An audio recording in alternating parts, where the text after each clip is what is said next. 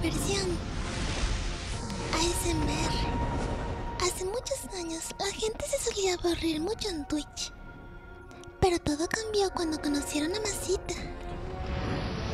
Solo un trapito, maestro de la lujuria y relajación, podría entretenerlos, pero cuando el mundo malo necesitaba, se dio a conocer. Después de 100 años, la pequeña Asu creció un poco. Se dio un cambio de look. Aunque sus habilidades para entretener y relajar eran grandiosas, tenía mucho que aprender antes de poder dominar el mundo. Y yo creo que Masita es un viejo sabroso.